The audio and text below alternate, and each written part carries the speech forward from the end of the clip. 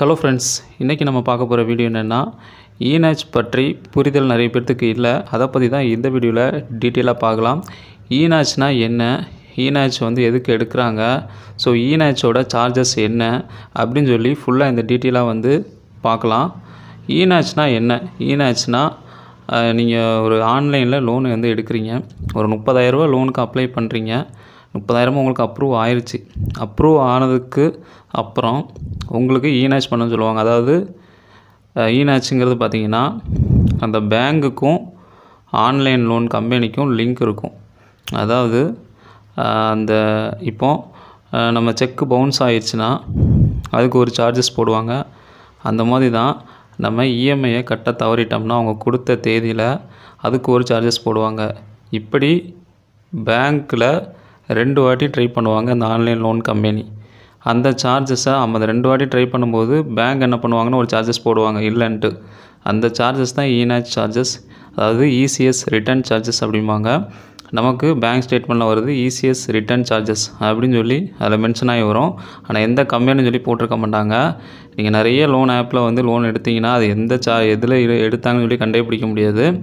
அதுக்கப்புறம் பார்த்தீங்கன்னா ஆஹ், அப்படி நம்ம பார்க்குறது எப்படின்னா நமக்கே தெரியும். அதாவது ஈனாச் வந்து நம்ம இதெல்லாம் பண்ணலாம் பண்ணியிருக்கோம் அப்படின்ட்டு அதை வச்சு அதுக்கப்புறம் வந்து கண்டுபிடிக்கலாம். ஸோ இப்படி தான் என்னுடைய நண்பர் வந்து ஆன்லைனில் லோன் எடுத்திருக்காரு. மூணு லோன் ஆப்பில் லோன் எடுத்திருக்காரு. மூணுலேயுமே பார்த்தீங்கன்னா ஈனாச் வந்து பண்ணியிருக்காரு. அவர் வந்து ஒரு வருஷம் லோன் வந்து கெட்டவே இல்லை. அதாவது அவங்க வந்து இசிஎஸ் ரிட்டர்ன் சார்ஜஸை ஒரு வருஷத்துக்கு வந்து போட்டு வச்சுருக்காங்க. கிட்டத்தட்ட பார்த்தீங்கன்னா மாதத்துக்கு ஒரு லோன் ஆப்பு ரெண்டு இசிஎஸ் வந்து ட்ரை பண்ணுவாங்க. இப்படி மூணு லோன் ஆப் பார்த்தீங்கன்னா ட்ரை பண்ணி சிக்ஸு ஆறு ஒரு மாதத்திற்கு பார்த்தீங்கன்னா ஆறு முறை வந்து ட்ரை பண்ணும்போது இப்படி இருபத்தோராயிரத்தி இரநூத்தி நாற்பது ரூபா வந்து இசிஎஸ் ரிட்டர்ன் சார்ஜஸ் வந்து வந்துச்சு. இது எப்படி நாங்கள் கண்டுபிடிச்சோம் அப்படின்னா நாங்கள் போடுற அமௌண்ட்லாம் பார்த்தீங்கன்னா அந்த அக்கௌண்ட்லேருந்து டெபிட் பண்ணிக்கிட்டே இருந்தாங்க. கேட்டால் இசிஎஸ் ரிட்டர்ன் சார்ஜஸ் லோன் எடுத்துருக்கீங்க அப்படின்னு சொல்லி அவங்க சொல்லிட்டாங்க பேங்க் சைட்லேருந்து நம்ம கேட்கும்போது சரியாக வந்து சொல்லலை. அதுக்கப்புறம் பேங்க் அக்கௌண்ட்டு வேண்டாம் அப்படின்னு சொல்லி க்ளோஸ் பண்ணும்போது அதுக்கப்புறம் தான் ஒரு விஷயம் வந்து எங்களுக்கு புரிஞ்சுது. ஸோ பேங்க் மேனேஜர்கிட்டே போய் நாங்கள் டைரெக்டாக வந்து கேட்டோம். அந்த மாதிரி நாங்கள் அக்கௌண்ட்டை க்ளோஸ் பண்ணுறோம் ஏன்னா க்ளோஸ் பண்ண முடியலன்னு சொல்லி சொல்கிறாங்க அப்படின்ட்டு. அவர் சொன்ன பதில் என்ன அப்படின்னா நீங்கள் ஆன்லைனில் லோன் எடுத்துருக்கீங்க. எல்லா லோனும் க்ளோஸ் ஆகிட்டா என்ஓசிலாம் வாங்கிட்டீங்களா? சிபில்லாம் அப்டேட் ஆகிட்டான்னு சொல்லி எல்லாமே கேட்டாங்க. ஓகே எல்லாமே அப்டேட் ஆகிட்டு இசிஎஸ்ஸை வந்து கேன்சல் பண்ணணும். இசிஎஸ் சார்ஜஸ் போட்டிருக்காங்க. எழுபத்தி ரெண்டு வாட்டி இசிஎஸ் ரிட்டர்ன் ஆகிருக்குது அதனால தான் இந்த சார்ஜஸ் வந்து போட்டிருக்காங்க. இருபத்தோராயிரத்தி இரநூத்தி நாற்பது ரூபா இசிஎஸ் ரிட்டர்ன் சார்ஜஸ் வந்து போட்டிருக்காங்க. இந்த அமௌண்ட்டை நீங்கள் கெட்டுனா மட்டும்தான் அக்கௌண்ட்டை க்ளோஸ் பண்ண முடியும். அது வரைக்கும் அமௌண்ட்டை எடுத்துகிட்டு தான் இருப்பாங்க. மீதி பெண்டிங் அமௌண்ட்டை அதுக்கப்புறம் அமௌண்ட் வந்து எடுக்க மாட்டாங்க. இது வந்து பேங்கோட சார்ஜஸ் அதாவது ஆன்லைனில் லோன் எடுத்திருக்கீங்க.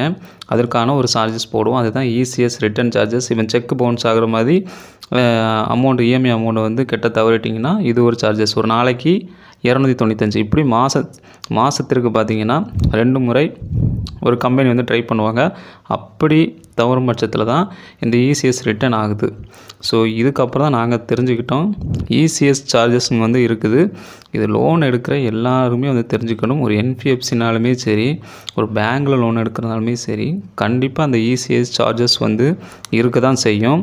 நீங்கள் அதிகமான அமௌண்ட் வந்து எடுக்கும்போது ஆன்லைன் லோன் ஆப்பில் கண்டிப்பாக வந்து இருக்கும். ஆனால் ஒரு சில ஆப்பெல்லாம் வந்து இருக்காது. இப்போ கிரெடிட் பில்லெலாம் வந்து ட்ரை பண்ணும்போது பத்தாயிரம் இருபதாயிரம் சொல்லி நம்ம ட்ரை பண்ணும்போது கண்டிப்பாக இசிஎஸ்லாம் வந்து அவங்க இநாச்லாம் வந்து பண்ண மாட்டாங்க. ஸோ அதெல்லாம் வந்து சின்ன அமௌண்ட்டுங்கிறதுனால ஆனால் ஒரு சில ஆப்பில் பார்த்தீங்கன்னா பத்தாயிரம் ரூபாய்க்கே வந்து இநேச் வந்து பண்ணுவாங்க. ஸோ அதனால் வந்து இஎம்ஐ வந்து கட்ட தவறாதீங்க. இஎம்ஐ கட்ட தவறினீங்கன்னா ஒரு நாளைக்கு இரநூத்தி தொண்ணூத்தஞ்சு ரூபா சார்ஜஸ் வந்து பிடிச்சிருவாங்க.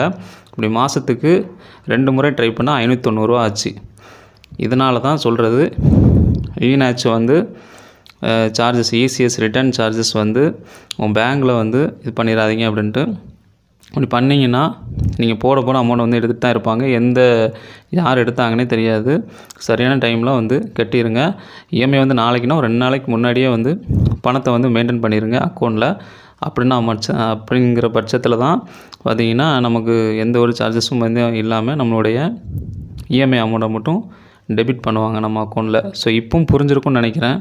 ஈநாச்சோட புரிதல் என்ன அப்படின்ட்டு ஈநாச்சை பற்றி தெரியாதவங்க வந்து கண்டிப்பாக வந்து இந்த வீடியோவை வந்து அவங்களுக்கு ஷேர் பண்ணுங்கள் முடிஞ்ச வரைக்கும் நான் அப்போ தான் அவங்களுக்குமே வந்து தெரியும். உங்களுடைய ஃப்ரெண்ட்ஸு ரிலேட்டிவ்ஸ்க்கு எல்லாத்துக்குமே வந்து ஷேர் பண்ணுங்கள் ஏன்னா இஎன்ஹெச் நம்ம பண்ணும்போது ப்ராசஸ் என்னென்னு பார்த்தீங்கன்னா நம்மளுடைய நெட் பேங்கிங் கேட்பாங்க. இல்லைனா ஏடிஎம் கார்டு ஆதார் கார்டு கூட இப்போ கேட்குறாங்க. ஆதார் கார்டு நம்பர் இருந்தாலே போதும். அதிலே இஎன்ஹெச் வந்து பண்ணிக்க முடியும்.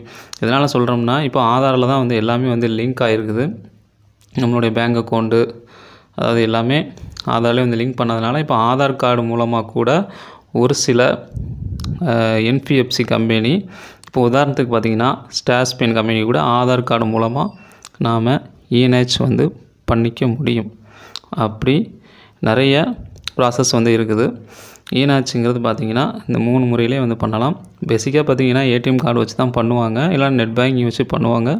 உங்கள்கிட்ட ஏடிஎம் கார்டு இருந்தாலே நீங்கள் அது மூலமாக ஈனாச் வந்து ப்ராசஸ் பண்ணிக்க முடியும். ஸோ நீங்கள் கண்டிப்பாக தெரிஞ்சுக்க வேண்டிய விஷயம் என்னென்னா இஎம்ஐயை வந்து கெட்ட தவறாதீங்க. இஎம்ஐ கெட்ட தவறுனாலே ஒரு நாளைக்கு இஎன்ஹெச் இசிஎஸ் ரிட்டர்ன் சார்ஜஸ் இரநூத்தி தொண்ணூற்றி அஞ்சு ரூபா. இப்படி ரெண்டு முறை வந்து ட்ரை பண்ணுவாங்க. ஐநூற்றி தொண்ணூறுரூவா ஆச்சு மாதத்திற்கு இப்படி நீங்கள் இந்த மாதம் இஎம்ஐ வந்து நீங்கள் கட்ட தவறிட்டினாலுமே நெக்ஸ்ட் மந்த் கட்டிக்கலாம் அதுக்கப்புறம் கட்டிக்கலாம் அப்படின்னா அதுலேருந்தே வந்து உங்களுக்கு இசிஎஸ் ரிட்டர்ன் ஆகும் அடுத்த மாதமும் அதனால் ஒரு இஎம்ஐ வந்து விட்டுட்டிங்கன்னா கூட நீங்கள் கரெக்டாக வந்து நெக்ஸ்ட் மந்த்துக்குள்ளே நீங்கள் கட்டிடுங்க அப்படின்னா தான் அடுத்த மாதம் அடுத்த மாதம் உங்களுக்கு இசிஎஸ் ரிட்டன் ஆகாது. இல்லைனா வந்து இசிஎஸ் வந்து ரிட்டர்ன் ஆயிரும். இப்படி நீங்கள் அந்த இஎம்ஐ வந்து கட்டி முடித்தா கூட அந்த ஓவர் டியூ அமௌண்ட் வந்து ஷோ ஆகும். அதுக்கப்புறம் பார்த்தீங்கன்னா உங்களுக்கு பேங்க்கில் அமௌண்ட் வந்து எடுத்துகிட்டு தான் இருப்பாங்க. ஏன்னா அது இசிஎஸ் வந்து ரிட்டன் ஆகும். ஒரு நீங்கள் ஒரு டுவெல் இஎம்ஐஸ் வந்து உங்களுக்கு போட்டிருக்காங்க. டுவெல் இஎம்ஐஸ் வந்து போடும்போது இடையில ஒரு ஆறு இஎம்ஐ வந்து கரெக்டாக கட்டிங்க ஏழாவது இஎம்ஐ வந்து கட்டலை. எட்டு ஒம்பது பத்து பதினொன்று பன்னெண்டு இது எல்லாமே வந்து கட்டிட்டீங்க. இப்படி கட்டுற பட்சத்தில் அந்த இடையில விட்ட இஎம்ஐயை வந்து நீங்கள் கட்ட தவறிட்டிங்கன்னா கூட நீங்கள் அதுக்கப்புறம் உங்களுக்கு இசிஎஸ் ரிட்டர்ன் சார்ஜஸ் எடுக்க தான் செய்யும் எத்தனை மாதம் விட்டிங்கன்னா அதற்கான இசிஎஸ் ரிட்டர்ன் சார்ஜஸ் வந்து எடுக்க தான் செய்வாங்க. அதனால் கண்டிப்பாக உங்களுடைய இஎம்ஐ வந்து செலுத்த தவறாதீங்க. ஈனாச் பண்ணிங்கன்னா கண்டிப்பாக உங்களுக்கு ஆட்டோமேட்டிக் டெபிட்டை வந்து எடுப்பாங்க. இது எதற்காண்டி எடுக்கிறாங்க அப்படின்னா நீங்கள் லோன் வந்து ரீபேமெண்ட் வந்து பண்ணுவீங்க. அதாவது பேங்க்கில் நேரடியாக வந்து ரீபேமெண்ட் வந்து பண்ணுறதுக்கோ ஆன்லைனில் ஆப்ஷன் ஏதாவது சர்வர் எரர் வரும். ஸோ இந்த மாதிரி பட்சத்தில் தான் அந்த இசிஎஸ் அது அந்த இஎன்ஆச்சுங்கிற ஆப்ஷனை வந்து கொண்டு வந்தாங்க. நம்ம அக்கௌண்ட்டில் மெயின்டைன் பண்ணால் போதும். அது அவங்களே வந்து ப்ராசஸ் பண்ணி டெபிட் பண்ணிடுவாங்க நம்மளுடைய அக்கௌண்ட்லேருந்து பணத்தை வந்து எடுத்துருவாங்க. நம்ம இஎம்ஐக்கான அமௌண்ட்டை வந்து ஸோ இப்படி தான் வந்து இஎன்ஹெச் வந்து ரன் ஆகுது. இப்போது உங்களுக்கு ஃபுல்லாக தெரிஞ்சிருக்கும்னு நினைக்கிறேன். இஎன்ஹெச்னால் என்ன? ஸோ இஎன்ஹெச்சில் வந்து என்னென்னலாம் பண்ணுறாங்க எப்படி சார்ஜஸ்லாம் வந்து எடுக்கிறாங்க அப்படின்ட்டு ஸோ இந்த வீடியோ வந்து ஒரு அவேர்னஸாக இருக்கும் நான் நினைக்கிறேன். வீடியோ பிடிச்சிருந்துச்சுன்னா லைக் ஷேர் கமெண்ட் பண்ணுங்கள் வீடியோ பற்றிய கருத்துக்களை கமெண்ட் பாக்ஸில் வந்து தெரிவிங்க. நன்றி.